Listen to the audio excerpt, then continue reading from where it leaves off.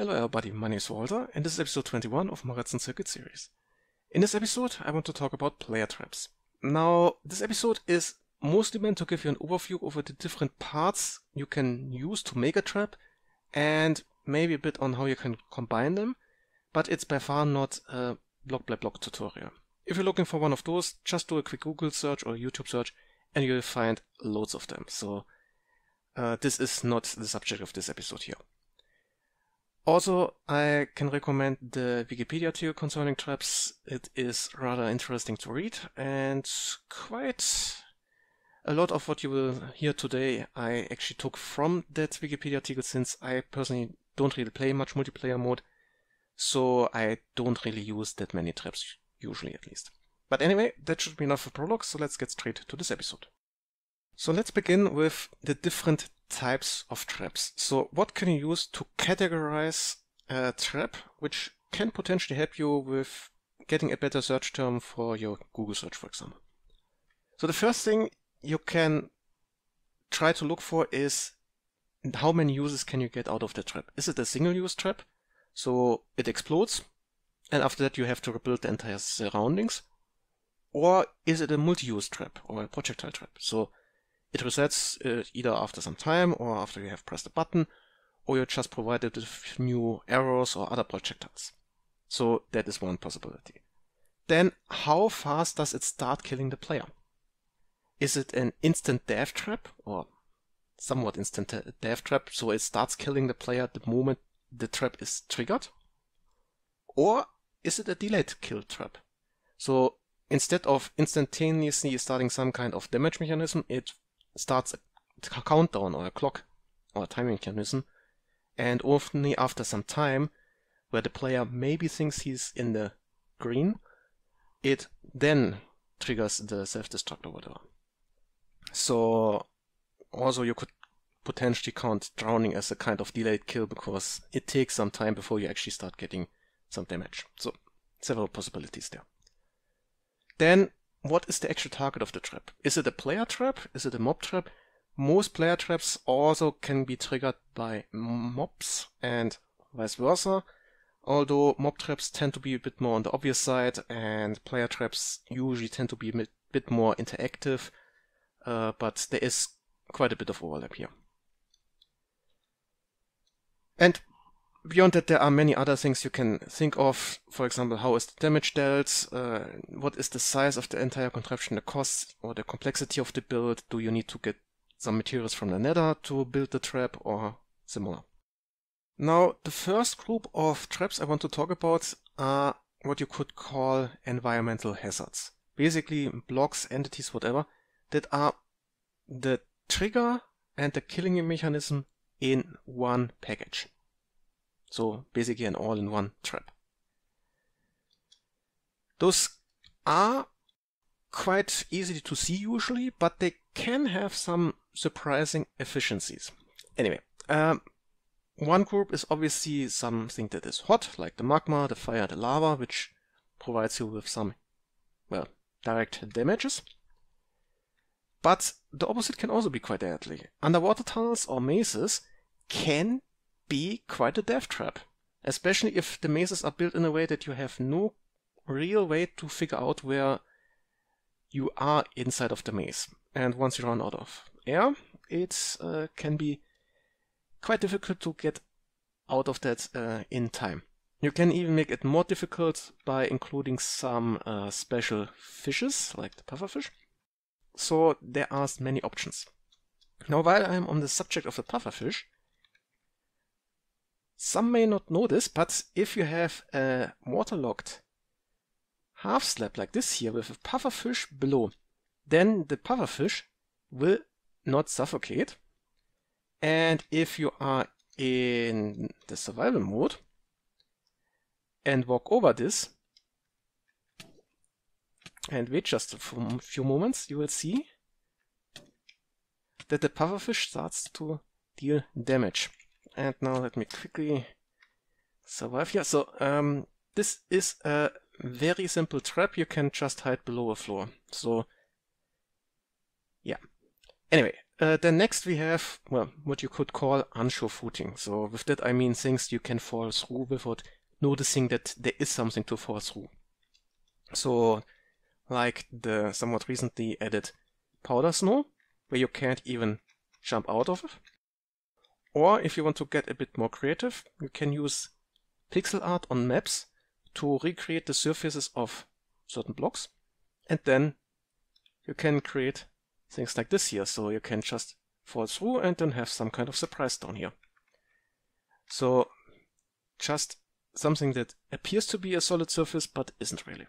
Ghost blocks are another option, although they are a bit uh, more tricky to create. Then also pretty straightforward.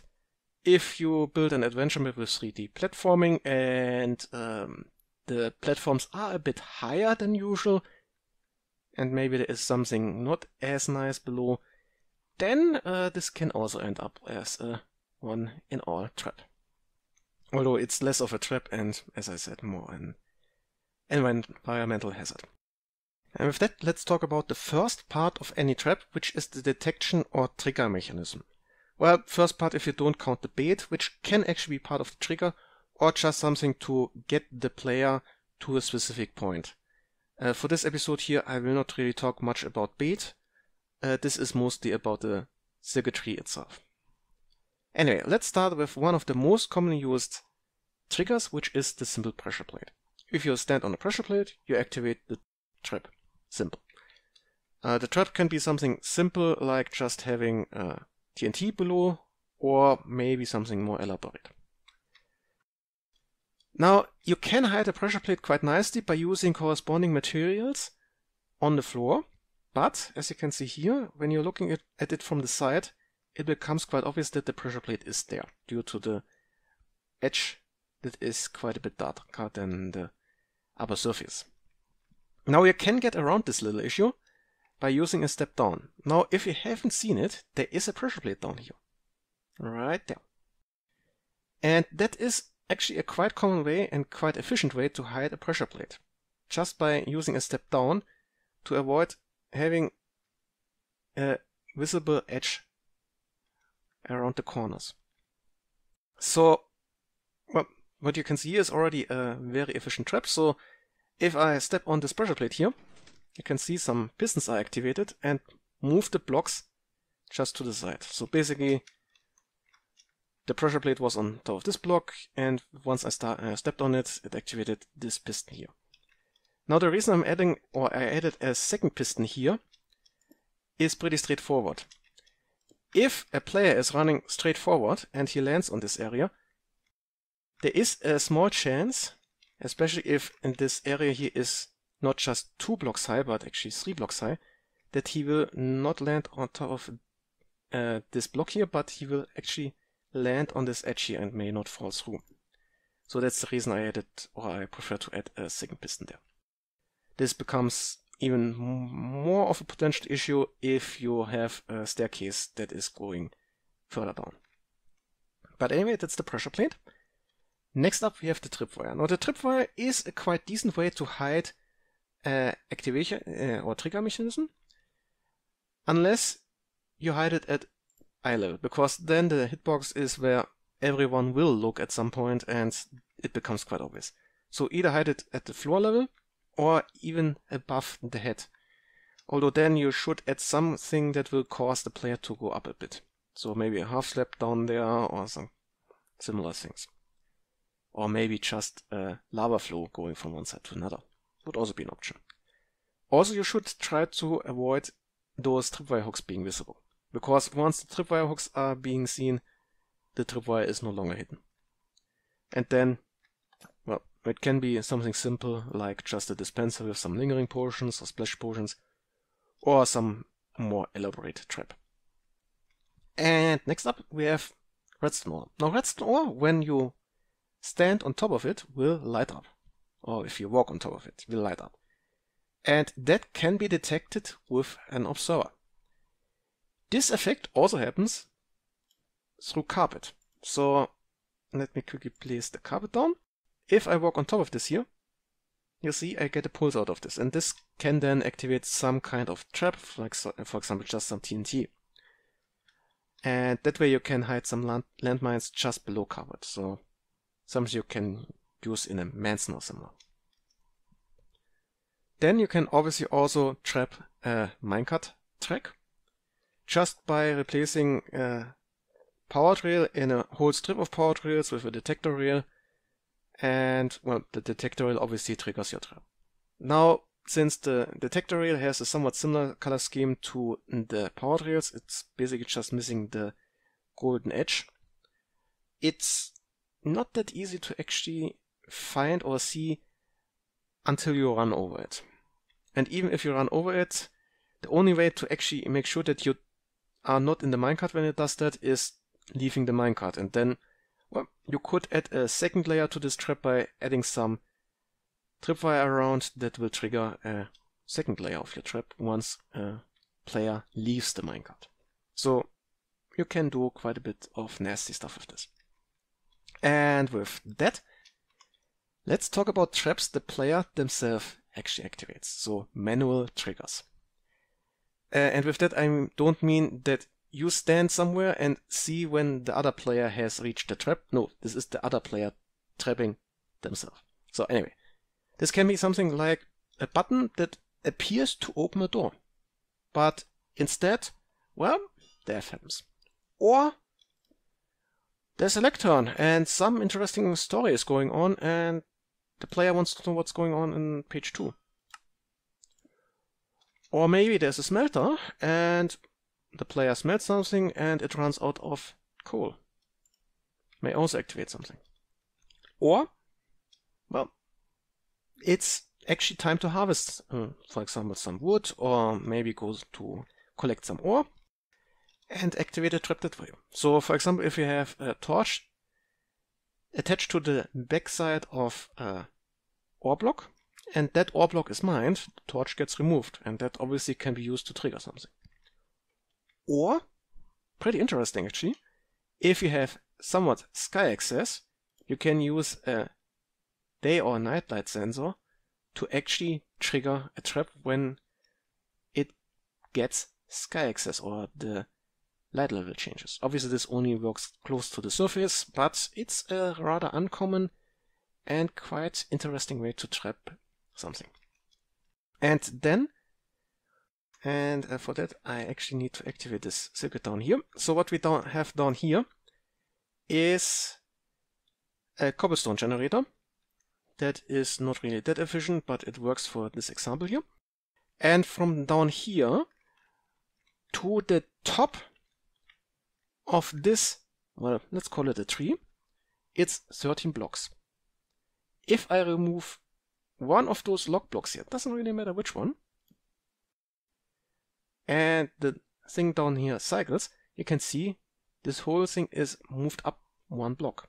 And that can be detected, for example, with an observer, which then triggers our trap.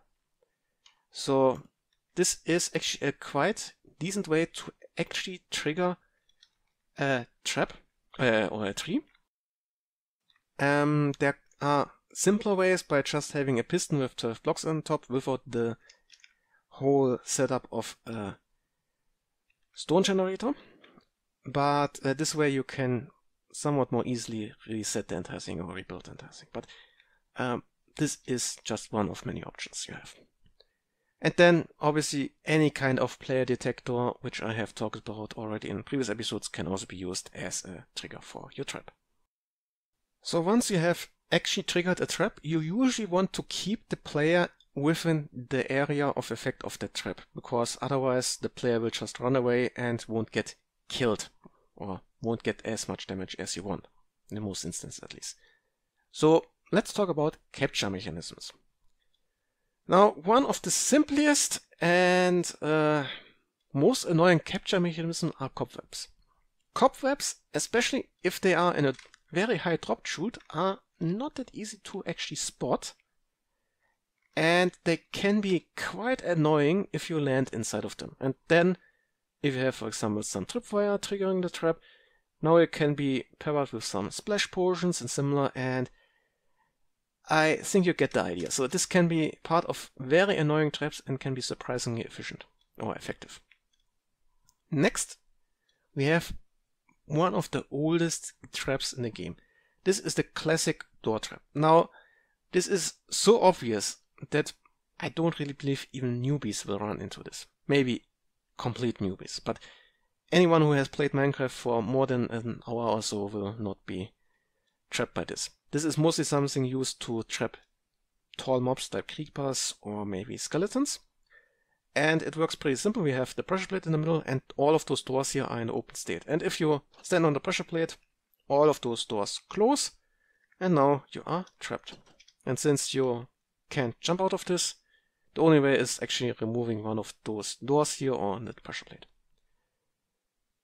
Now a variation that can work on players is a piston variant of this. And this works pretty simple. Below the floor we have pistons, sticky pistons, which get activated when I stand on top of this. And since the area above is blocked by a block, you could also just have blocks in those positions all around. And that way make sure that you can't get out of this. Uh, but as you can see, this is also rather efficient to trap players. You can also make this a one-way street, so by getting creative with the connections here, you can actually make sure that the player is only blocked in one direction and not in all directions. So you can actually make some kind of hidden mazes for this, which I did some time ago. Um, link, if I don't forget it, should be in the description. Anyway. Next, we have piston doors. So basically pistons can be used to close an opening if the trap is uh, activated. So you walk in here, and once you're in there, you won't get out. Pretty straightforward. If you use some kind of Ars knowledge, you won't even need to stand still on top of the pressure plate. Similarly, I already showed you this before. You can use a trap or a piston to open up an area usually below the player so he can fall through. So this again here is the simplest pressure plate trap I showed you earlier already. Just pressure plate, that's a wire, and the piston that moves the block over. Then a bit of an extension of this concept is using signs. If you have a sign and you remove the block it is connected to, this can also be just retracting the piston arm it is connected to, then that sign will pop up. And since you can add signs to signs, you can make entire floors out of science. And if you place sand on top of that, it's not that obvious. If you use sand and maybe some concrete powder and gravel and similar, uh, you can even make a floor that can fall, but looks just like some pixel art and can be hidden in plain sight. So one possibility to actually extend this. You can do similar things with uh, the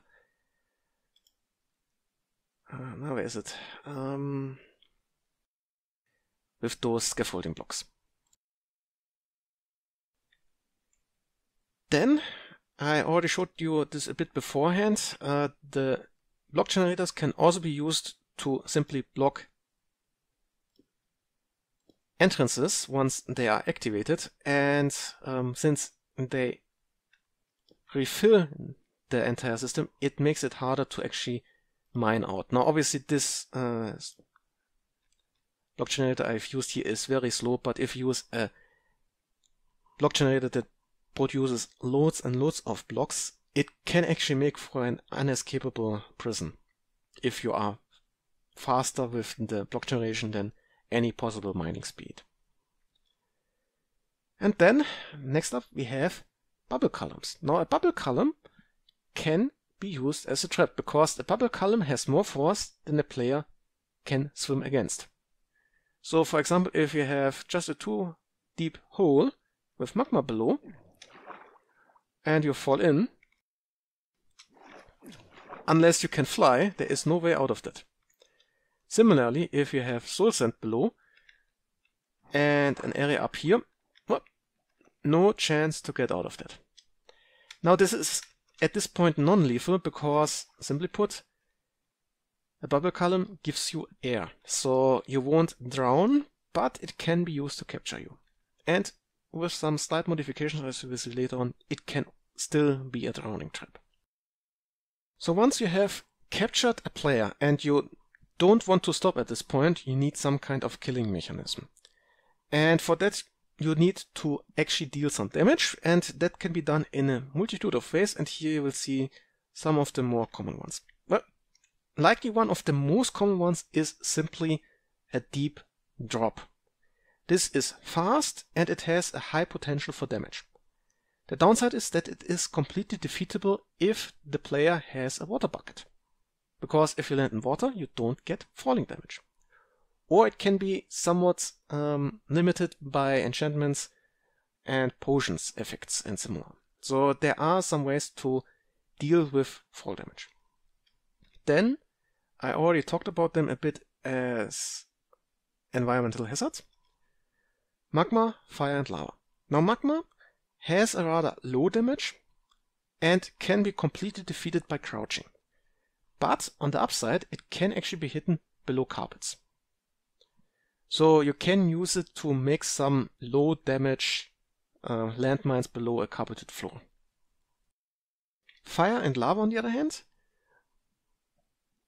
are commonly used to deal high and somewhat sustained damage because fire damage deals damage over a somewhat long time occasionally. Now here, obviously, if you have the right potions or water, again, you can defeat that uh, damage quite easily. Then we have uh, Cactus. Now, uh, Cactus is something you don't usually run into, but you can push into it or you can land on top of it and it deals some damage, but uh, you can simply break the whole thing and, uh, well, it's easily disarmed.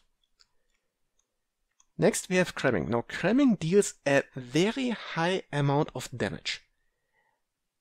But if you have, for example, pickaxe and you use uh, minecarts for the cramming, it can actually be disarmed if you can deal with the minecarts fast enough. Now a counter to that is adding more minecarts. So in this space here I have maybe something around 50 minecarts or so in this single space and it takes a long time until you are below the 20 something uh, minecarts you actually need for the cramming to get into effect. So this would be a quite lethal trap for many players and uh, yeah.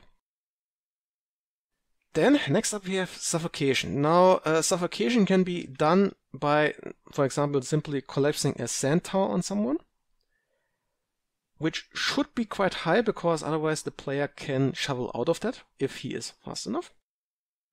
But you can also use pistons to move blocks into the headspace. And if you're doing that, a tenderizer is something I would recommend because if I just move the block into the headspace, then this usually leaves enough time to simply mine out that block uh, before the player dies. Now a tenderizer is basically moving the blocks back and forth like you can see here. The player stands in there and gets damaged all the time, but since the blocks are being moved back and forth, they can't be mined. And since the black, uh, blocks are also moved into the headspace of the player themselves, even if they are aiming for one of the blocks on the side, the disruption of the line of sight means that those blocks won't be mined completely out. So uh, once more, the player won't be able to get out of that. So this can be actually quite efficient and uh, well, can make those traps more or less unescapable. Just make sure that you use blocks here that can't be insta-mined, because that would defeat the entire system. Anyway, uh, let's continue on. I already talked about this a bit earlier.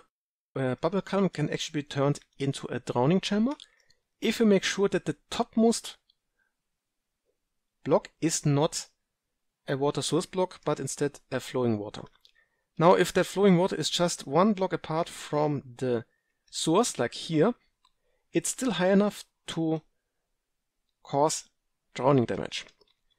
And as a little side note, it also produces a sideways force, which can be used to harvest the materials or the inventory content of that player, for example, into a hopper like this here. So this can be quite efficient. So you can see I can get in here, but I won't be able to get out. And um, well, that's the entire idea behind this. And on the upside, it looks like just a normal water elevator or bubble column water elevator.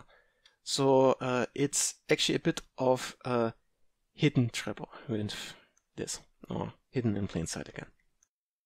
Then, a trap I find rather nice is you can actually make a drowning trap that encompasses an entire rectangular room. Now the way to do this is you have to make sure that two adjacent walls are completely water sources. How can you do this? And in a way that you don't have, for example, dispensers all over this place. Now you can do it like this here. So Äh, a rather interesting mechanic is if you one click a sticky piston, it can actually move a waterlogged block and the waterlogged block remains waterlogged. So here I'm moving those two blocks forward and it produces a water source here. And since those blocks here also turn into straight stairs blocks, you also have water sources here. And now when I remove those blocks again, I now have five water sources all along this edge. And uh, this is also rather nice. This trap somewhat resets itself. So you can see the blocks here, which were, uh, were not waterlogged when they were retracted, once more get waterlogged through those blocks here. So now I have this entire line here waterlogged. And this can be continued further. You can stack this entire system and have an entire wall. And then if you have a second wall, this means that this entire rectangular area here gets flooded. And that way you can flood an entire room. Can be quite efficient. Um, the downside is if you want to reset this, you need to remove all of that water manually. And that's that. Next, obviously, I already talked about this a few times, projectiles. Or you can also count them somewhat in the same category, falling anvils and falling pointed dripstone, which you also need to replace at some point and can be considered ammo. So uh, things like rockets, which produce quite a decent amount of damage if you build them correctly, uh, then obviously arrows and the various versions of arrows and splashing and lingering potions. All of them can be used with dispensers. And you can hide dispensers obviously behind surfaces by using some pistons or similar. So this can also be a somewhat hidden trap. Then, also somewhat in the same category, mobs. You can use mobs as a kind of damage mechanism. Just release a crowd of creepers or some skeletons or skeleton uh, or zombies or similar. And this can be also used to kill a player, obviously.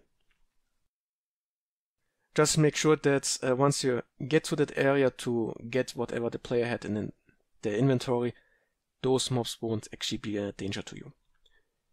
And then we have explosions. Now explosions can be triggered, for example, with TNT, the TNT minecart, or the end crystal. Now, all of them can be activated in different ways. The TNT usually needs a redstone signal, or if it's uh, dispensed by a dispenser, it is already triggered. A common way for this äh, TNT, or common use for TNT are landmines. You can find them naturally generated in desert temples. Then we have the TNT minecart. The TNT minecart will explode when it derails, or when it's hit by a projectile. In both instances, you have no delay. You have a 4 second delay of a TNT being triggered until it explodes, but a TNT minecart explodes the moment it derails or the moment it gets hit. Similarly, a end crystal explodes the moment it is hit by a projectile, which makes those two very hard to dodge traps. This one here, you hear in the noise and uh, in most instances where you are not properly captured, you can actually get out of that area. And with that we come to what I call misdirectional traps. So basically traps that appear to be something safe-ish, but are still quite deadly. So um, I already talked about this earlier when I was talking about manual triggers, but if you have a combination lock or something that appears to be a combination lock, someone will come along and play around with the levers or the buttons. And well, in this example here, it's quite obviously a trap, but if you move the TNT behind the wall, it becomes less so obvious. And if any of those levers is flicked, then the entire trap is triggered. So just one example here. Then, uh, those two examples here are from the Wikipedia. And, uh, well, first of all, if you have a water elevator and you stand at the top and look in there, you see those signs here and you see the topmost water layer. What you don't see is whether there are water layers below. And that's what this trap here does. So we have one water layer and then you have no water. So it appears to be a water elevator, but it is not a water elevator. And this down here is just a dummy door essentially. Now, uh, this is not going far enough to actually kill someone, but you can continue on with this setup and this is then quite deadly. So one simple way to make a deadly drop hidden in plain sight. Very similar, you can have some hard water at the bottom. So if you have a drop chute like this here and then a block at the bottom that looks at least close to water, like powdered um, or concrete powder or maybe some wool or similar, you can also cause someone who doesn't really look too closely to fall through, especially if the distance is high enough and the block looks close enough to water to actually uh, well appear to be water. Then we have a couple traps that are for players who think they are very clever. If an advanced player comes along and sees a too high painting right starting at the floor level, what many of them will do is they will see if there is a hidden entrance by just walking along the wall. And if they are not careful enough and look through this by clipping, they will see, oh, there's an entrance, and then they will fall through that uh, to the depths or something similarly uh, problematic. So this is a bit too obvious of a secret entrance. And then we have players who think it's a good idea to disarm traps they have found. In many instances, this is not an issue. But you can make double layer traps and traps that are disarm, uh, protected against disarming. So here we have a simple landmine with TNT. And below that we have a second TNT layer with a wooden pressure plate on top. Now what happens is if a player comes along and decides to disarm this one here by removing it, this TNT will get turned into an item, falls, lands on the pressure plate and triggers the second layer. And then the entire thing goes boom. Similarly, you can use observers to make sure that you try to move, remove blocks around this area. The entire system will also be triggered.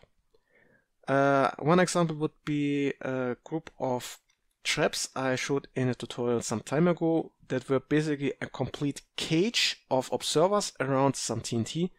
And if you removed any of the blocks around, the TNT would trigger. So, um, link for that, if I don't forget it, should be in the description. And with that, we have reached the end of this episode about player traps. I hope you enjoyed this little episode and, well, see ya!